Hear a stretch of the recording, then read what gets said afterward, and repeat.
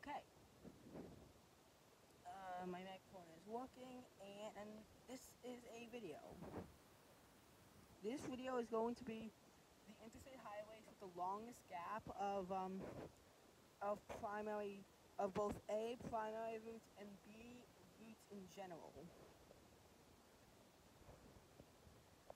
So interstate.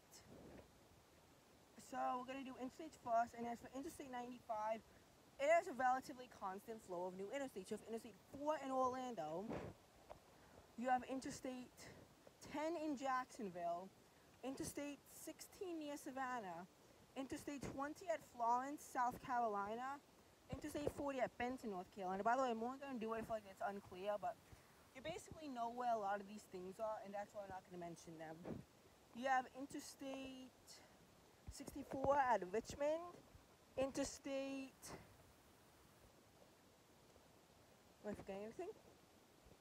Oh, yes, 26 at Charleston. Damn it. Um, that's just to go between 10 and 20. Um, interstate. Um, 76 is the next one at Philly. Uh, oh, wait, actually, I'm starting, I don't actually have to count that one. Because it's not an even. Like, like, I mean, maybe I will, but you know what, I don't have to. Then again, uh, then again, if I don't include that one, I'm not going to include New York City at all, but whatever. 78 is at Newark, New York, New Jersey. 80 is at Teaneck, New Jersey. Uh, 90 is at Weston, Massachusetts. Hmm. Okay, that appears to be it.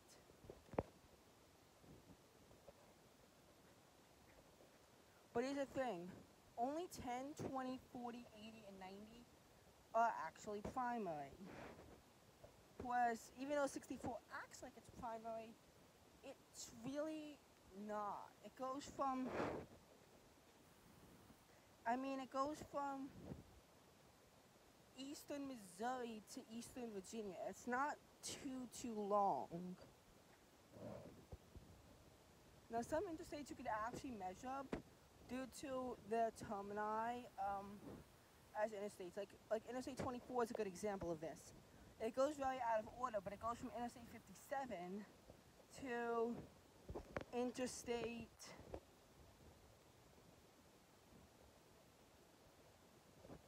uh, 75.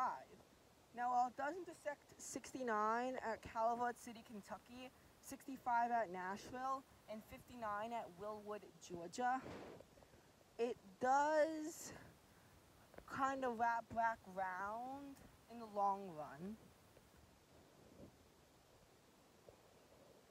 It does kind of wrap back around in the long run back to into back to 75. So as you can see it goes across 18 interstates. Although I would say maybe more than 18% of the country. Actually it's less though. It's really less than 18% of the entire country. I mean, considering Chattanooga isn't that far from St. Police, Illinois, uh, at least on an east-west basis.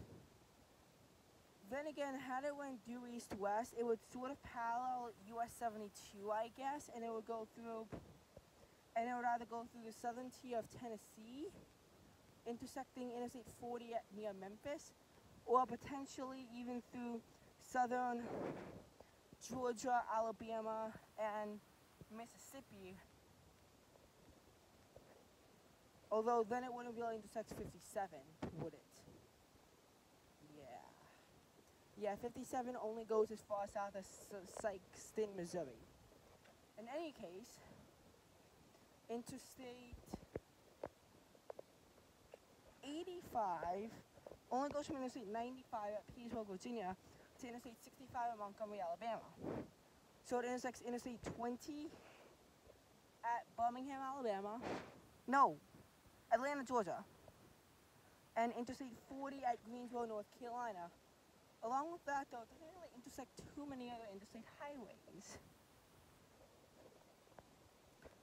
I mean, it intersects some interstates, but not enough for it to matter.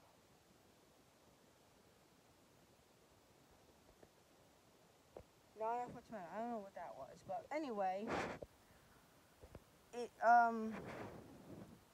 But anyway, I believe it does also intersect 74, maybe. No, it doesn't. I don't think it does. Whatever. There's also this thing called the Petersburg Richmond Turnpike, a 50 kilometer turnpike going from Petersburg to Richmond that begun on Interstate 64, mostly headed down 95 and went on 85, but 85 doesn't go as far north as 64 does.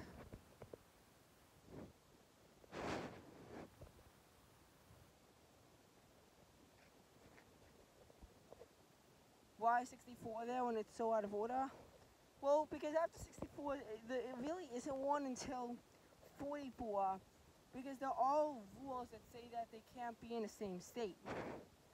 So if you had even an Interstate 60, it would probably at a point go through Virginia. It probably at a point, I think actually Interstate 64 might have been the chosen Interstate 60, but given how it parallels US 60 so closely, that would work. And I mean, an Interstate 50 might have worked if it was further south, but it, co- it can't go through Virginia or West Virginia at all.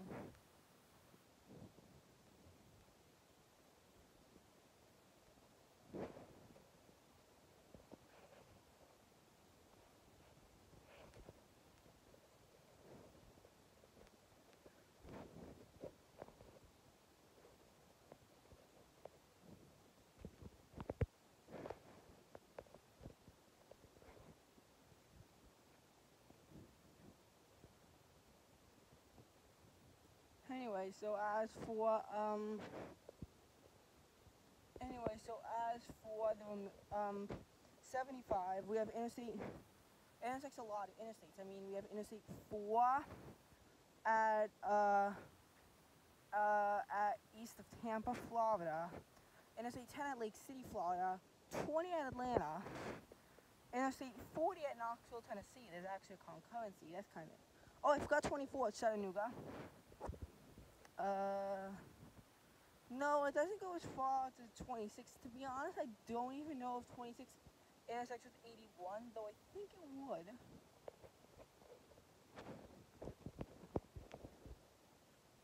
Sixty-four is at Lexington, Kentucky. Seventy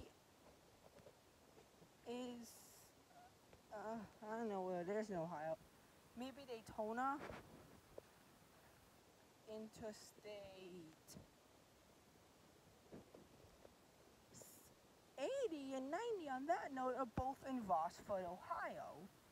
And in this case, the gap only appears to be a 30 because it intersects both 40 and 70. And interstate and Interstate 94 and 96 are both at Detroit. 96, ironically, before 94. If anyone also, by the way, just cares to wonder, if anyone cares to wonder, by the way,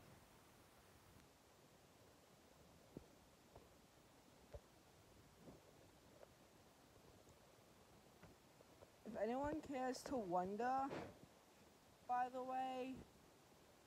Uh, the reason why 70 95 intersected, they're both in the city of Baltimore, along with 83. No Baltimore highway intersects with another Baltimore highway. The reason is because they all connect to 695, but there were a lot of freeway shortages. For example, where 83 would have intersected 95 is in southern Baltimore.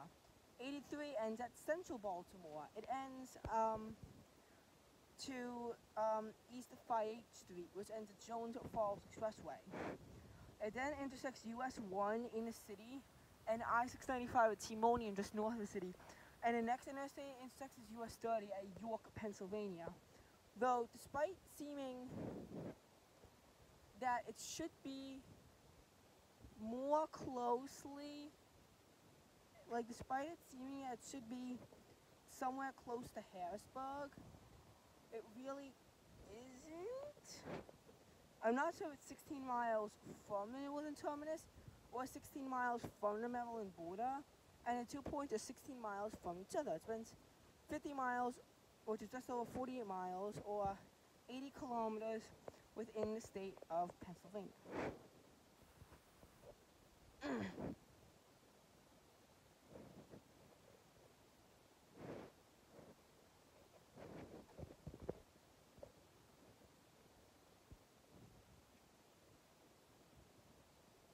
anyway,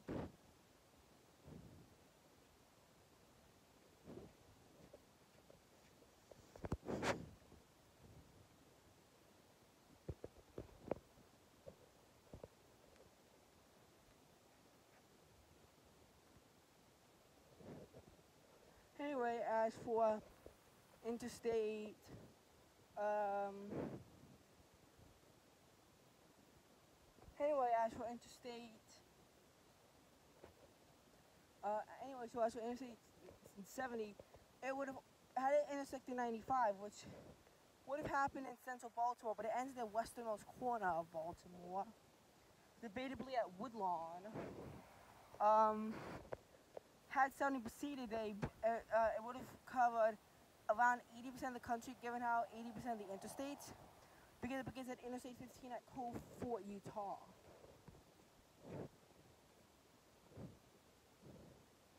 In any case, 65 also has the gap of 30 that literally every interstate has to have, because you have Interstate 10 where it begins at Mobile, Alabama,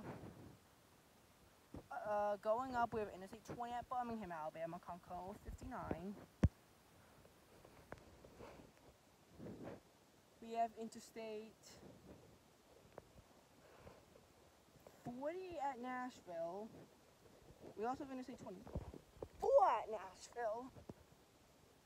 We also have Interstate 64 at Louisville, Kentucky. But it's not primary. Yeah, to be honest, I wonder what would it actually look like if 64 and 44 are the same height with this. Because 44, you actually used to end to 64 along with 5 and 70. But then they built another bridge. So 44 is actually extended 2.4 kilometers. Although not into Illinois. It was never planned to go to Illinois. You know it ends literally just a couple hundred meters from the border. I could show you uh, some of those things that you believe me a little bit more when I say them.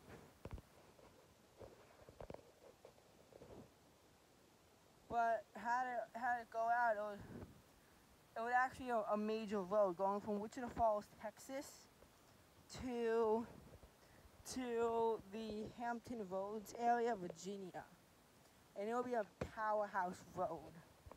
We could even call it Interstate 54. Although it probably would be in the same state as US 54. Actually, that's a guarantee because US 54 goes through Texas. And that's a problem because Texas has a bunch of US routes. So you can't really have expand it interstate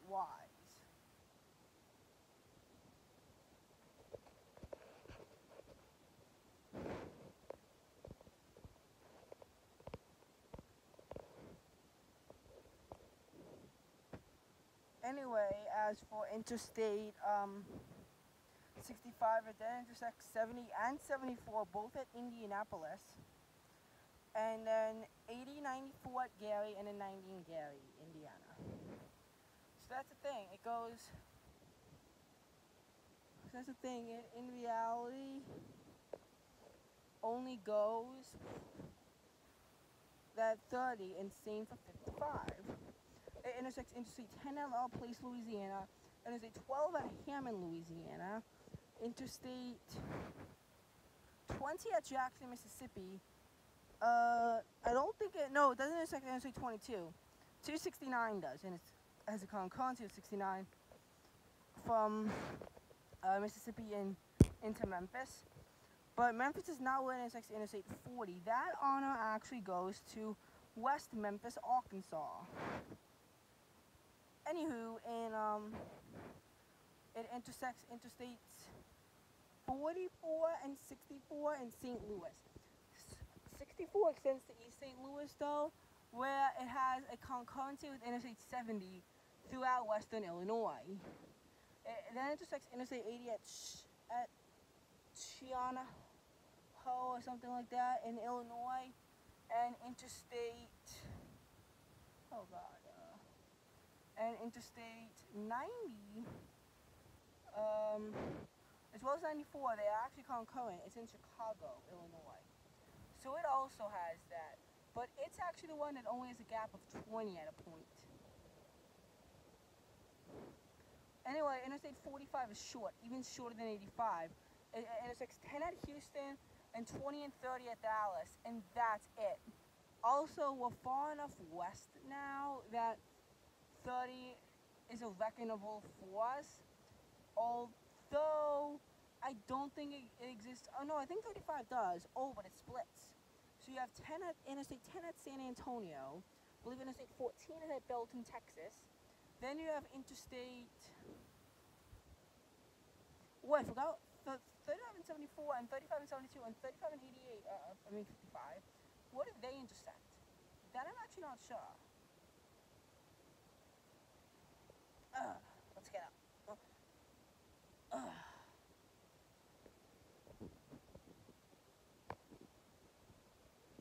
Anyway, they intersect. Um,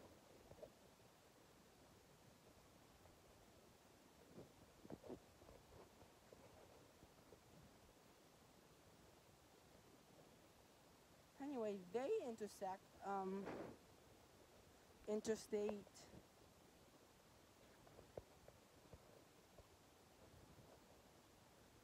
Yeah. Anyway, they intersect interstate. Um, intersects 20, when intersects 20 and 30, it's split up. So 35 West would at Fort Worth, 35 East in Dallas. Then it intersects both 40 and 44 at the same time at Oklahoma City. It intersects 70 at Kansas City as well as 29. Um, it intersects 80 at West Des Moines, Iowa. It intersects 90 at Albert Lea, Minnesota.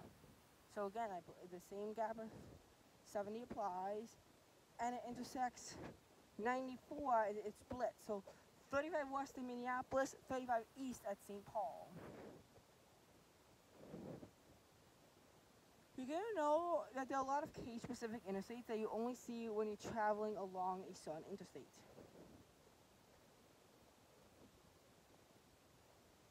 In any case, Interstate 25 intersects 10 at Las Cruces, 40 at Albuquerque, so uh, the gap of 30 actually exists twice. 70 at Denver, 80 in Cheyenne, 90 in Buffalo. Only major interstates does 25 intersect. Well, actually, Interstate 76, although a different 76, intersects in Denver, Colorado.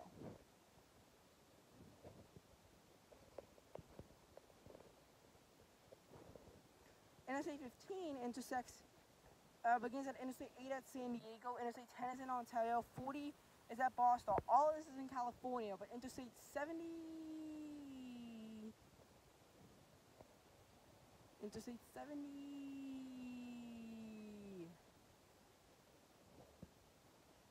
Interstate 70,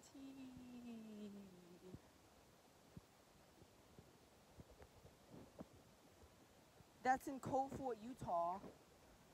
80 is at Salt Lake City, Utah. 90 is in Butte, Montana. See, by this point, we're so far west that not even 94 exists. Although I bet that if Interstate 25 was extended further north along 90 uh, in a concurrency that began in Buffalo, Wyoming, and went to Billings, Montana, I bet it, it would actually intersect 94. Like, like, ni- like 94 is at the same, I guess, longitude as 25 and it ends at 69. Though it doesn't intersect 75, so that makes the 44% of the country goes across into 50%, and 50% sounds more accurate. Nevertheless, life does not always work like that. For example, uh, I can't give an example now, I'll give you an example later.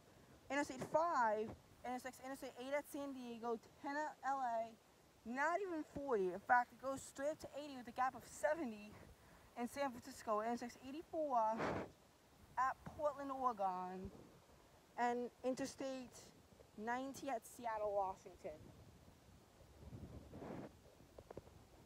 I sure hope that my phone has a lot of battery. To be honest, I sure do. But with east-west interstates, you don't see that major thing because it is, because it's not like there's a 50-60 gap. It's not like there are interstates that are missing. But Interstate 10 intersects Interstate 5 at LA, 15 at Ontario, California, 25 at Las Cruces, New Mexico, 35 in San Antonio, 45 in Houston, 55 at La Place, Louisiana, 65 in Mobile, Alabama, 75 in Lake City, Florida, and 95 at Jacksonville, Florida, making 85 unique. Interstate 20 intersects Interstate 35 west at Fort Worth, 35 east and 45 in Dallas. Um, 55 at Jackson, Mississippi, 65 at Birmingham, Alabama, 75 and 85 both in Atlanta, and 95 at Florence, South Carolina. 40 intersects Interstate 15 at Barstow, California, 25 in Albuquerque, New Mexico, 35 at Oklahoma City, Oklahoma. Well, 44, but that's irrelevant. Um, uh, 55. Oh wait, we forgot 30. Yeah, but that's really only just 35 east and 35 west at, um, in Dallas, Fort Worth. Oh, and 45 at Dallas. In any case, where were we? Oh yes, 50, uh, uh, 55 at West Memphis, Arkansas, 65 at, um, at, uh, at Nashville, 75 at Knoxville, Tennessee, 85 at Greensboro, North Carolina, and 95 at Florence, South Carolina. So they, so none intersects all but we haven't seen too many great gaps yet. Like we haven't seen a gap longer than 20. Because most of it's just termini issues. But Interstate 70 has 15 at Cove Fort, Utah, 25 at Denver, Colorado, 35 in Kansas City, uh, Missouri alone, 29, 55 I mean, there are 45 issues, but whatever. 55 at East St. Louis, Illinois. 65 in Indianapolis. 75 in that weird random point in Ohio. No 85 and no 95 either. 70 is missing the most, but there's no, but there's nothing to like close that gap. As for 80, it intersects all. 5 at Sacramento, ex except 45.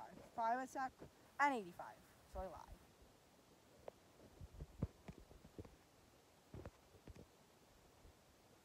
Five at Sacramento, 15 in Salt Lake City, 25 in Cheyenne, and you could look up the states. Uh, 35 at West Des Moines, 55 at Channahon, I believe, 65 at Gary, 75 at Rossford, and 95 at Teaneck. Finally, 90 has all of them except 45 and 85.